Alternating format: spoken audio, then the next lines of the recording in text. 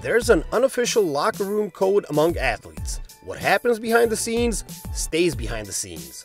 But every now and then, someone breaks the code. During the Showtime era, that someone was Mark Landsberger.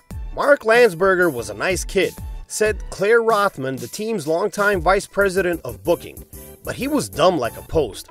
I'm guessing he literally could not walk and chew gum simultaneously. The Lakers acquired Mark in February of 1980 via trade with the Bulls. At 6'8, 230 pounds, he was a rebounding machine and, in theory at least, a perfect big man for the team's bench unit. But for all the small things Landsberger brought on the court, his biggest contribution to the team was his ability to make others laugh. Landsberger's lack of self-awareness resulted in a plethora of stories his teammates love to tell. From asking his coach whether they have any rebounding plays to his wife bragging about his off-season improvement when Mark learned to use knives and forks while eating. Landsberger anecdotes came in all shapes and sizes. Had he been a hard worker, his impact on the Lakers might have been bigger than just cracking everyone up.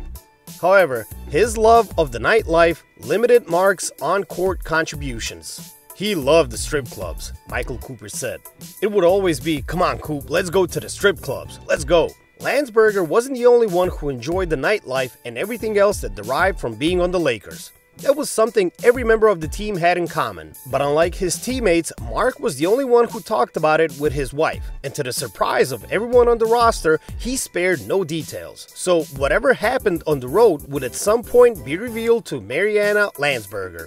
That brings us to the early weeks of the 82-83 season.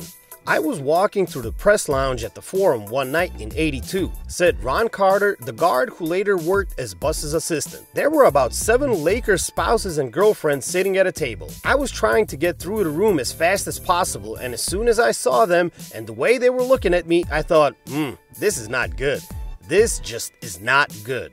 The first one to speak was Michael Cooper's wife, Wanda, who was told by Mariana Landsberger that her husband was fooling around while on the road. It doesn't take a genius to realize where she got that information. Wanda found out via my wife. She tricked my wife. I told my wife to keep it confidential. So Wanda told my wife I was cheating on her, and then Marianne told her what I'd said. It got pretty ugly, said Mark Landsberger.